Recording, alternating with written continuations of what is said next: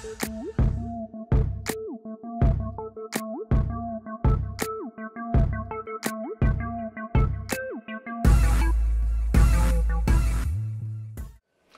you guys, how are you doing? First of all, I would like to say thank you for all the comments and I just uh, reached 100 subscribers, which is awesome. You know, when I started like a couple of weeks ago, I never have imagined that I would so quickly reach 100. So thank you so, so much for all your support and for all your comments and keep watching. Today actually I don't want to do a review but instead I would like to talk about reactions of people around me to this perfume obsession. So I started seven years ago and back then I only wanted to have a small collection. So I said to myself well I would only have like up to five perfumes and it's gonna be okay. I will have everything for each season and that's fine. But then I started to read blogs and um, started to be a part of our community and I found a lot more interesting stuff. So then I said to myself, well, let's only have up to 10 perfumes and obviously it um, grown and grown and now it's so much but in the beginning I tried to hide this obsession. so I uh, never wanted anybody to know, except of course uh, for my boyfriend and friends and family who saw it. And back then I was studying and uh, but I didn't want to tell anybody about this except uh, that when we were in Prague with my classmates sometimes I tell them to go with me for some sniffing into the shops and stuff like that, but I was never really open about my obsession because uh, I read on various blogs that um, people can be really rude and they can tell you, well, you should uh, you shouldn't spend so much money and who cares you know? I buy perfumes because it makes me happy and that's what matters actually. Uh, so my collection was slowly growing and growing and then I started working and in my first job I didn't really tell anybody except I had one colleague whose uh, signature scent was Angel and then she had uh, Chanel number 5 so I can speak to her a little bit and sometimes I shared some samples and stuff and that was it. And then I moved into another city and I started working for a bigger company uh, where I still work and um, I now have a lot of um, or more of female colleagues. So at the beginning I was not really talking about my perfume obsession um, because I was scared they would judge me that I spend so much money for something I don't really need. Yet then I admit, admitted and we started to chat with my colleague from my office and I brought her some perfumes and some samples and I recommended her some, uh, some perfumes. I bought her some and then um, also for another colleagues of mine and I think they are okay with it. Sometimes I get a nice compliment from the ladies, um, so it's all okay, except for from my boss, who really hates everything I wear. He hates all the perfumes, with one exception, which is uh, 21 Rue Cambon by Chanel. He actually said it's not that bad.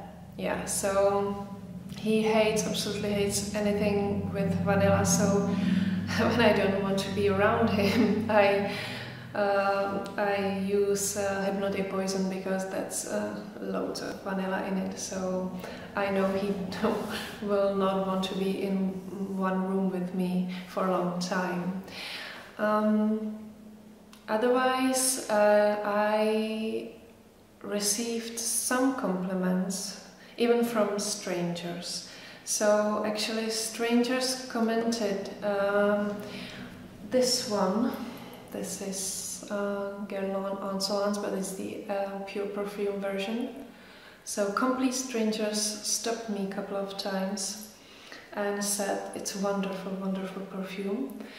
Uh, and this is the one that actually my uh, former colleague from my office didn't like at all because I, I told her, look, I wear a lot of perfume, uh, I have a lot of bottles, just tell me if there's something you can't stand or you don't like and I will not wear it around you. Um, so she just um, said this one is not her favorite and it's too loud and um, um, I shouldn't wear it. So that's that's the only one, and that's the one that's most complimented at the same time. Although once I was on a, on a business trip in Germany and we had a lot of colleagues from around Europe sitting there and I used um, a bigger amount of my ones and I noticed that after a while all the window, windows were open so I don't know why that was, you know. And then um, people actually commented this one, this is Guerlain's Aqua Allegoria Mandarina Basilic. So I got some nice compliments on this one. This is a light, nice, fresh, citrusy, inoffensive smell, so no wonder people like it. And actually guys like uh, this Amouage Dia, which to me, I don't know why is this happening, because to me this is a maternal scent, but from the reactions I got the feeling that for them, for, for some guys, it's really oh, sexy, even I don't like to describe my, my perfumes as sexy, whatever. And also my female colleague uh, said this this she said this really suits you. It's better than all those sweet bombs you usually wear. Oh i love my sweet perfume so but i try to wear this one more and this is an aldehydic uh, quite a floral dense perfume okay so that were some compliments and I have to admit I don't receive so many compliments. Uh, sometimes I read somewhere that uh, this fragrance earned me a lot of compliments, like everybody stops me on the street and comments how nice I smell, and we don't really get this here. I don't know if that's the European thing, and in the States it's so different, but it's not that every day I have a compliment, maybe like once in a month or something like that. So it's strange how this differs. Like, um, I mean, here where I live, it's not common that people would comment uh, on your perfume. What about my family? So, my mother always uh, comments uh, when, whenever I wear something sweet because she doesn't really like sweet perfumes at all. And so some of her comments are like, what smells like Christmas here? Or what the hell are you wearing again? It's so sweet.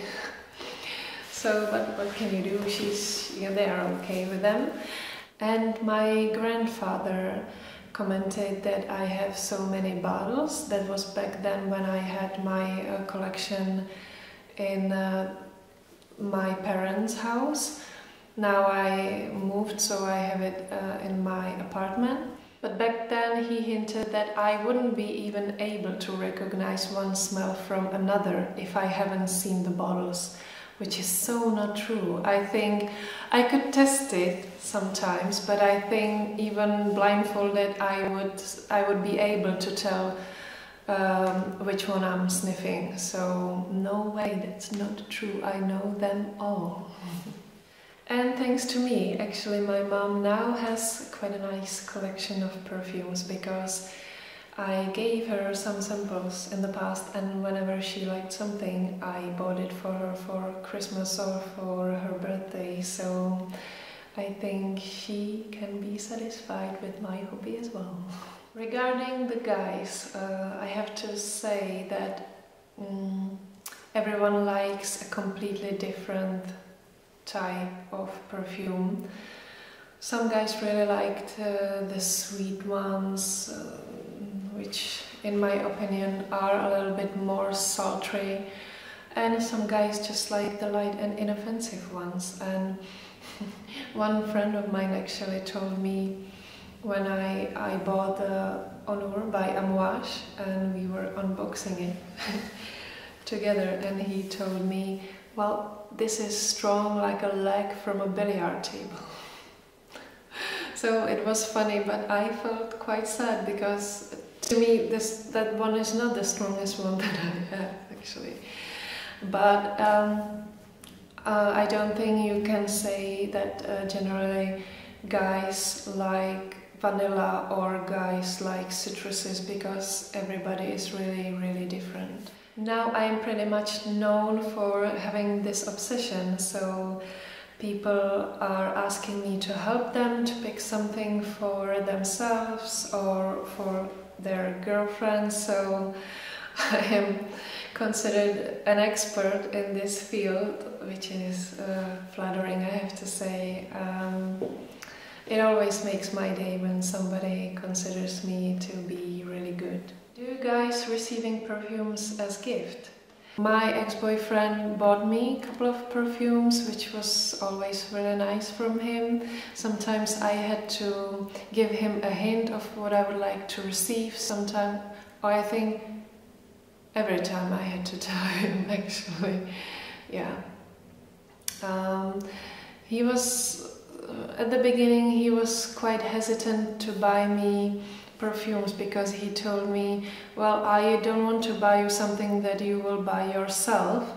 And um, I think he also didn't understand that this is really my hobby and I'm not a collector and I but I want to enjoy all my stuff and that's why I have so many bottles and then he got it and he supported me a lot. He bought me my cabinet and he bought me a couple of nice gifts. So overall the reactions of the people around me are pretty much positive and i'm glad uh, because as I said, I heard that some people get really negative comments about how much perfume they are using and basically those people usually are people who smell really bad.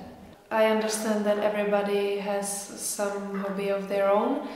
Somebody likes to drive on motorbikes, so they have 10 motorbikes. Why not if it makes them happy? And perfumes make make me happy, so why wouldn't I have 37 bottles or 100 bottles, whatever? It's just a passion, so I think you shouldn't feel guilty about having more than an average person has. Also, I try not to talk about the price of some bottles that I bought because that really makes people wonder, like they are not aware that a perfume can be so expensive. So not that they would usually judge me or something, but you know, I like to try, uh, like to keep this for myself.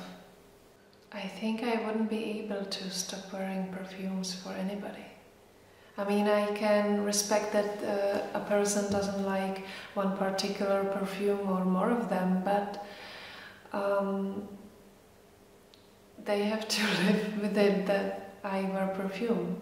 So if we share some space, then of course I always ask, is it okay for you? And whenever you wouldn't like something, just tell me and I stop wearing it when I'm around you. But I mean, I'm not willing to stop wear perfume completely. What about you? Would you would you get rid of your bottles just because your boss hates it or your colleague hates it or your husband doesn't like it?